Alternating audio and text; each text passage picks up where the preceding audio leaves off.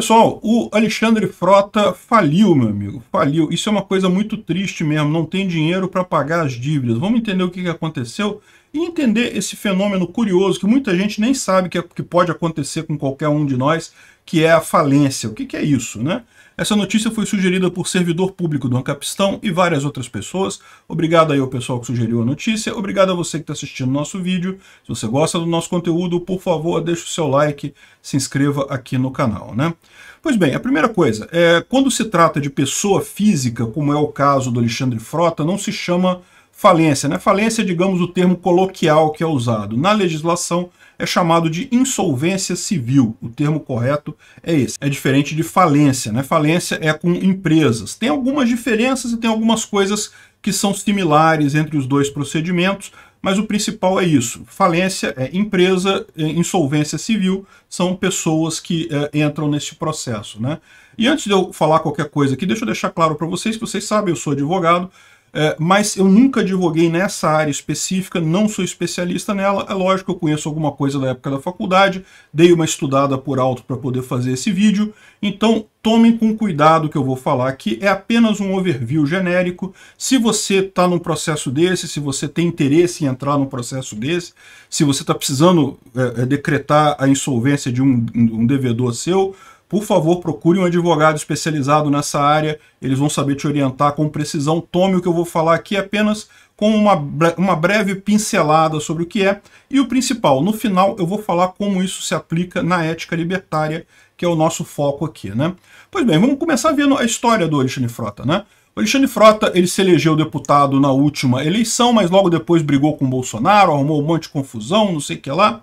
No final, não conseguiu se reeleger, mas longe, conseguiu muito pouco voto depois que brigou com o Bolsonaro. E, além disso, segundo ele, é, segundo está descrito aqui na matéria, ele teve várias, é, é, várias ações indenizatórias contra ele por conta de ser deputado. Eu não sei do que ele está falando, se foi alguma coisa de outras, outros casos, foi alguma coisa referente à própria legislação dele. Sinceramente, não sei qual é o caso, não explica aqui. O fato é que, é, segundo está descrito na reportagem, ele tem 1,4 milhão de dívidas já reconhecida na justiça, ou seja, dívida que ele tem que pagar, não tem alternativa. E quando a justiça foi procurar bens para penhorar dele, né, para tentar penhorar o bem dele, percebeu que ele não tinha praticamente nada de valor. Então foi decretada a insolvência civil dele. Né? E basicamente isso que significa a insolvência civil. Nesse ponto é similar à falência, né? a falência é quando a empresa não consegue pagar as contas dela e quando se observa que o, o total da, do, dos ativos da empresa, né? o, o valor das máquinas, dos, dos equipamentos que tem lá, é, é menor do que as dívidas dela. Né? E aqui é a mesma coisa no caso de uma pessoa. Você não está conseguindo pagar suas contas e, além disso, o seu patrimônio todo, tudo que você tem na vida, se vender isso tudo, você não consegue pagar as dívidas que você que você tem aí fora. Né? Tipicamente, esse tipo de coisa acontece só com valores mais altos, tá, gente?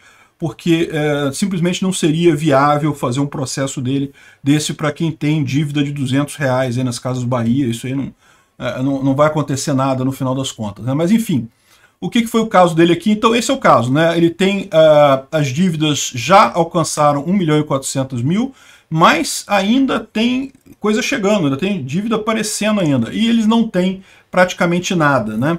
E, bom, vamos entender o que, que é aqui no Código Civil, na verdade no Código de Processo Civil, que trata da insolvência civil. É curioso esse caso aqui, porque esse aqui é o antigo CPC, tá? O CPC, o Código de Processo Civil, tem uma versão nova dele, toda melhorada, cheia de coisa nova.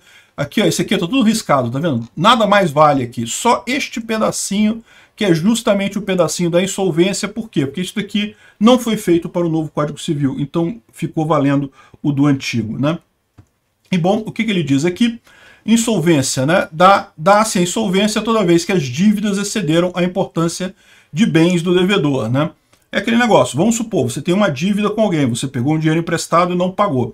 Essa pessoa pode pegar o título, que é o quê? A promissória que você assinou, sei lá, o documento que você assinou dizendo que você pagaria né, essa, esse dinheiro de volta, pode pegar esse título, pode entrar na justiça e fazer um processo chamado de execução. Eu estou sendo muito é, simplificado nessa história toda aqui, tá? Mas pode entrar com um processo que é chamado processo de execução, que consiste no quê?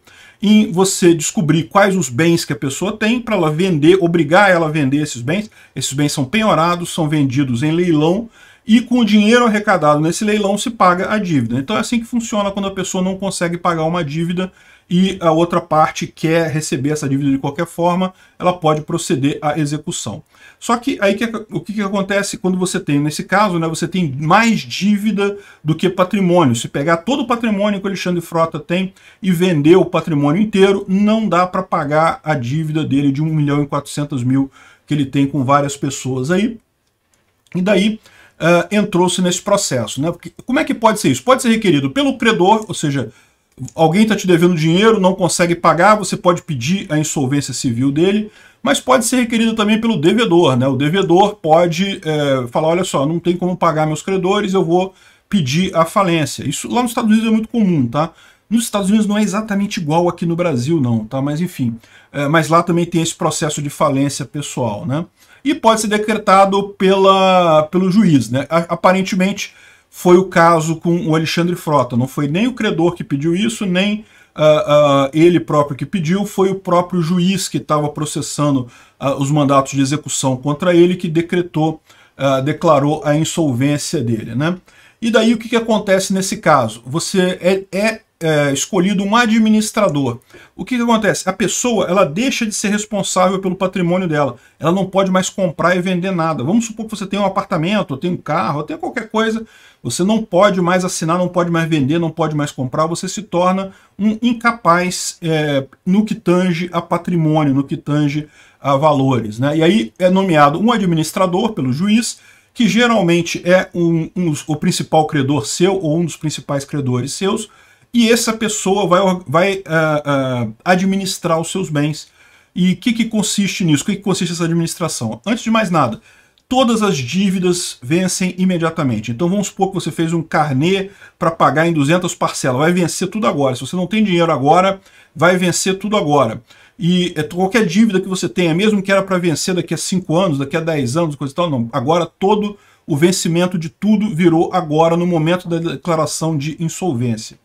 E uh, o, esse administrador ele vai apurar o que, que tem, vai fazer um chamado dos credores, qualquer pessoa que tenha alguma coisa contra você, fala, não, preciso de, olha só, ele está me devendo dinheiro aqui, coisa e tal. Todo mundo tem que apresentar, tem um prazo para apresentar, porque aí vai se criar vai fazer a grande a administração, no caso, é levantar tudo que tem de dinheiro, de, de, ativo, de coisa, vender tudo e pagar o que for possível dessas pessoas de forma proporcional, né? O que se objetiva com esse tipo de coisa é no desastre. Isso é um desastre, né? Lógico, a pessoa ficar totalmente insolvente.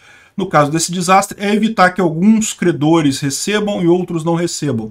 Então você junta todos os credores, vende tudo e divide igualmente entre as pessoas. Não é igualmente, igualmente, porque tem umas, umas ordens de preferência, tem que pagar primeiro não sei o que lá, depois não sei o que lá. Mas, mas tem ali, você consegue pagar é, mais ou menos todo mundo sem haver injustiças, né? E aí você pode pensar, uma empresa, uma falência de uma empresa não é muito diferente disso. É, é lógico tem os termos diferentes, é, tem um processo diferente, mas no final das contas fecha-se a empresa. Né? E a pessoa, como é que fica? E pois é, a pessoa continua, né? a pessoa não, não acaba.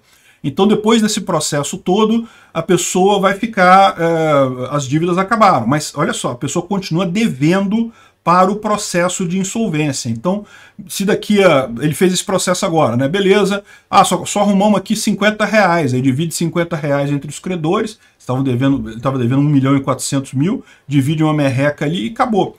É, o que, que acontece a partir de agora? Ele está livre, pode fazer o que quiser, mas primeiro, ele não vai conseguir fazer muita coisa, porque é, é, você pode imaginar, os bancos não vão dar cartão de crédito para uma pessoa assim que passou por um processo de insolvência, não vão dar crédito muito fácil para esse tipo de, de, gente, porque a pessoa é, né, demonstrou um problema aí. E, além disso, o, se a pessoa comprar qualquer coisa, se a pessoa, sei lá, resolver comprar um carro não, não pode comprar o carro. O, o, processo o administrador do processo de insolvência pode ir lá e tomar o seu carro. Então você não pode ter patrimônio nenhum é, até você quitar todas as dívidas. Né? Então, se daqui a, sei lá, durante 10 anos, tudo que você juntava de dinheiro serviu para pagar as dívidas passadas, é, é, aí tô livre. Aí, aí você pode começar a viver sua vida, a, a acumular patrimônio de novo. Gente, esse tipo de processo aqui não é brincadeira, não é positivo não, tá? A pessoa se ferra nisso daqui. Você perde totalmente o controle sobre o seu patrimônio e seu nome fica sujo num patamar que é muito maior do que sujeira de SPC e Serasa e coisa e tal, esse tipo de coisa, né? É, é, se você já passou por uma insolvência civil, é muito pouco provável você conseguir crédito em algum lugar. Então é isso que acontece, tá? Mas assim, mas pelo menos você não vai ficar ouvindo cobrança de um monte de gente, por quê? Porque todas as suas dívidas foram reunidas e né, o cara fez o que pôde lá para pagar o pessoal, enfim. Vão correr atrás disso daí você segue com a sua, com a sua é, vida, né? Ele fala aqui, ó, liquidada a massa sem que tenha sido efetuado o pagamento integral a todos os credores, o devedor insolvente continua obrigado pelo saldo, ou seja, continua devendo para o pessoal. Não acaba, só a única maneira de acabar a dívida, só tem duas maneiras de acabar uma dívida. Ou você morre, se você morrer a dívida acaba, ou você, eh, quer dizer, acaba, não acaba necessariamente, né? É, acaba é, para os herdeiros, para é, o seu patrimônio, ela ainda existe. Mas é, é, e, ou então isso, ou você paga a dívida, são as duas maneiras que tem, né? Então, ele coloca aqui, tem alguns prazos, né, distintas obrigações do devedor, no decorrer dos cinco anos e coisa e tal, tem, tem alguma coisa, depois de cinco anos você pode voltar a consumir, a ter patrimônio, coisa e tal. Enfim, é, não é alguma coisa que você que seja é, recomendável você fazer assim, ah não, estou devendo muito dinheiro, vou fazer vou, vou, me tornar insolvente, vou declarar minha falência e aí os credores não podem mais encher seu saco. É verdade, os credores não vão poder mais encher seu saco, mas eles vão poder continuar enchendo seu saco depois, porque é, é qualquer coisa que você compre, eles vão usar para pagar, né? E aqui cabe o paralelo com a ética libertária, como eu falei para vocês. Né? Um, uma questão que existe na ética libertária é o que eu falei, não, não é necessariamente que vai acontecer isso. Eu, particularmente, acho que a tendência numa sociedade libertária é que as penas sejam todas penas de indenização financeira. A pena de cadeia, se você parar para pensar, ela é muito cara de aplicar. Você tem que ter um prédio, você tem que cuidar da pessoa, tem que botar comida para ela. Isso é muito caro. Então, eh, no final das contas, eu acredito que pela própria economia, a tendência é que as penas sejam de indenização. E aí as pessoas falam assim, ah, mas e se a pessoa não tiver dinheiro para pagar, vai sair livre? Não, se, as pessoas não, né, se a pessoa não tiver dinheiro para pagar, ela vai sair insolvente, ela vai sair numa situação que ela não consegue comprar nenhum bem sem que esse bem seja tomado pelo administrador da insolvência, pelo credor né, da, da pessoa. Então, é isso que acontece. Ah, se a pessoa não tiver nenhum dinheiro para pagar a dívida dela, ah, ela fica devendo fica devendo e vai ficar devendo por muito tempo e não vai conseguir acumular patrimônio nenhum enquanto estiver devendo. Ah, mas e se a pessoa esconder bem? Então, ao invés de eu comprar bem para mim, eu compro o nome dos meus filhos, compro o nome de não sei quem, coisa e tal, escondo o patrimônio. Ah, também isso é previsto aqui. O administrador pode investigar esse tipo de coisa. Se ele identificar que o Alexandre Frota é, botou bem no nome do, dos parentes dele, não sei se ele tem filhos, é, botou é, é, é dinheiro no, no, patrimônio de outras pessoas, amigos, não sei o que lá. Se ele descobrir isso, ele vai lá e toma esse patrimônio que está no nome de outra pessoa. Isso é fraude, né? Ele pode tomar isso. E no caso de fraude, se for, ah, se descobrirem alguma coisa desse tipo, aí fraude pode ter cadeia, né? Aqui no Brasil você não vai para cadeia por dívida, você sabe disso. Não é assim em todo lugar do mundo, não tá lá na, nos Emirados Árabes Unidos. Se você ficar, ficar com dívida e não conseguir pagar a dívida, dependendo da situação, você pode pegar cadeia. Aqui no Brasil não dá cadeia a menos que você faça fraude. Você começa a esconder coisa coisa, aí você já pode é, ir para cadeia por conta disso, né? Enfim, é, é, isso daí. Isso que é a falência aí do Alexandre Frota. Não é uma coisa boa de acontecer não, tá, gente? Isso aqui não, não livra ninguém de nada, não. Isso aqui te deixa numa situação financeira terrível. Você deixa de ser uma pessoa responsável pelo seu patrimônio. E nunca mais você vai ter a liberdade que você tinha antes. Não brinquem com isso. Obrigado por assistir o vídeo até o final. Além de curtir, compartilhar e se inscrever no canal, considere se tornar patrocinador com valores a partir de R$ 1,99. Clique no botão Seja Membro abaixo para saber as condições e vantagens de patrocinar o canal. Mais informações sobre o nosso projeto, visite nossos sites indicados na tela.